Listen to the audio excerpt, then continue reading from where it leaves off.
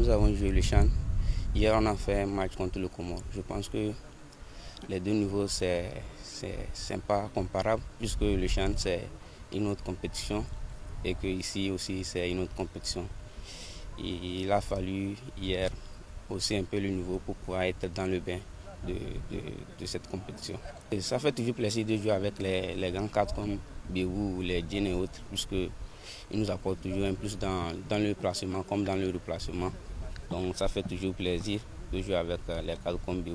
Je pense que nous avons vraiment tiré profit de, de leurs conseils et autres. Il fallait tout donner, il fallait vraiment prouver que les joueurs locaux aussi sont capables de faire quelque chose dans le football togolais et qu'il fallait vraiment mieux le maillot pour pouvoir présenter dignement les locaux.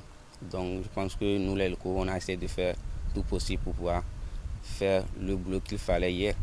Donc euh, je ne peux que dire merci aux locaux qui ont commencé cette première partie et que ceux qui sont, ceux qui sont venus aussi rentrer ont aussi essayé d'apporter un plus.